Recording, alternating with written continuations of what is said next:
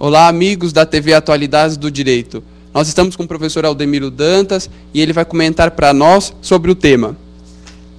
Lei não obriga empregador a manter plano de saúde para trabalhador afastado. Tudo bem, professor Aldemiro? Tudo bem, mais uma vez, grande prazer estar aqui com os amigos da Atualidade do Direito. Prazer, Saulo, prazer falar com você. Ok, vamos ao primeiro questionamento, professor. A discussão principal nesse caso, decidido pelo TST, foi quanto à validade do acordo coletivo. E considerando que a própria Constituição Federal reconhece essa validade dos acordos coletivos e das convenções coletivas, existe alguma possibilidade de uma cláusula dessa ser considerada inválida, professor? É, na verdade, existe. É porque ah, quando nós falamos de negociação coletiva, de fato, a Constituição reconhece a validade das negociações coletivas. Né? E nós estamos no campo da chamada autonomia coletiva da vontade. Essa autonomia coletiva, ou seja, o que pode ser negociado num acordo coletivo ou numa convenção coletiva, essa autonomia coletiva é maior do que a autonomia privada. Existem certas cláusulas, certos acordos que o empregado não pode fazer individualmente, mas podem constar da convenção coletiva ou do acordo coletivo. Basta nós lembrarmos, por exemplo, a redução de salário a redução de salário jamais será válida quando negociada individualmente pelo empregado, mas ela pode ser negociada é, em acordo coletivo ou em convenção coletiva de trabalho. No entanto, apesar desses limites da autonomia coletiva tá, serem maiores do que o, os limites individuais, também existem. Quer dizer, é, aqui nós também vamos encontrar alguns limites que ainda não estão claramente definidos, mas nós já temos dois fixados. Quais são esses dois limites? Primeiro, a, a norma, da, a, cláusula dessa negociação coletiva, acordo convenção, não pode afastar direito constitucional. Segundo, essa cláusula de norma coletiva não pode afastar regra de proteção à saúde ou à segurança do empregado.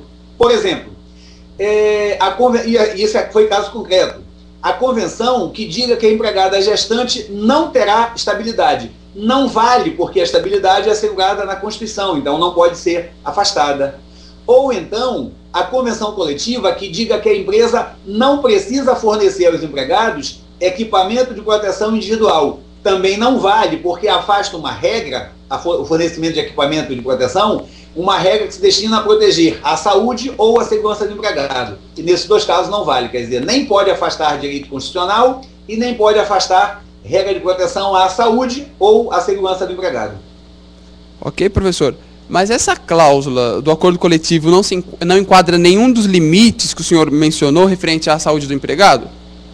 Pois é, é na verdade, esse é o problema, porque, na minha opinião, se enquadra sim é, é, na verdade, tem a questão da saúde. Olha lá, é verdade, como disse o TST, claro, todos sabemos, que a Constituição Federal ela prestigia, ela reconhece validade nas negociações coletivas, ela dá valor às negociações coletivas.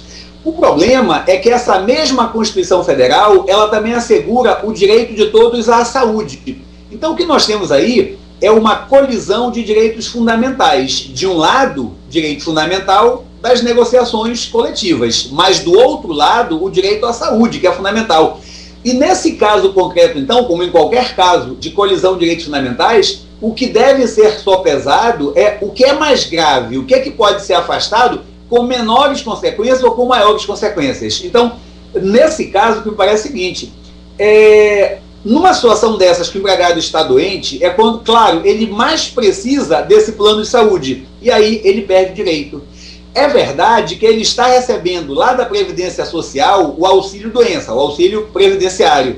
Mas, ora, a gente sabe o seguinte: é, o auxílio doença é sempre menor do que o salário de contribuição, a não ser quando é o salário mínimo, que é o valor mínimo da, do benefício. Mas, fora isso, o que ele recebe da Previdência Social é menos do que ele recebia de salário pago pelo empregador. Ou seja, no momento em que vem uma despesa extra. Ele vai ter que comprar medicamento, ele vai ter que se deslocar para ir ao médico. A gente sabe que, infelizmente, é, é, não é possível obter todos os medicamentos fornecidos pelos planos de saúde, é, governamental, pelos planos públicos de saúde, não há.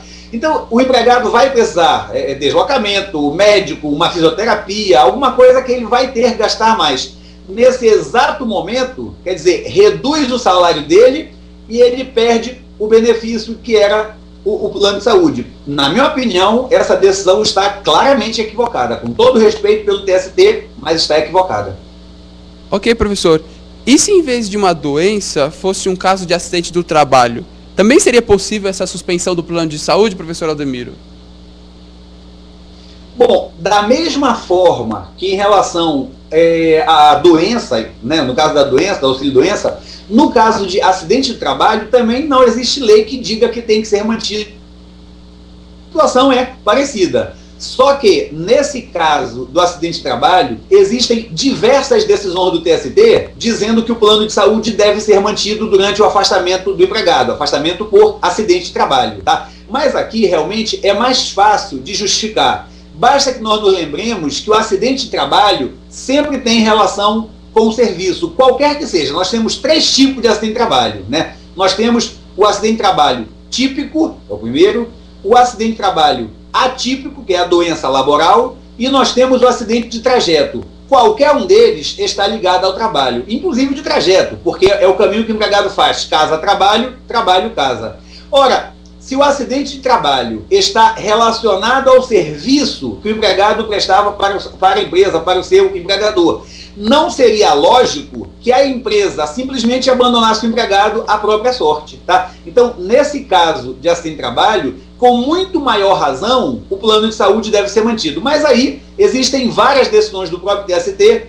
dizendo isso. Tá? E nesse caso, parece-me perfeito o posicionamento do TST. O equívoco, repito, na minha opinião, está quando se trata de doença, como é o caso que a gente está comentando.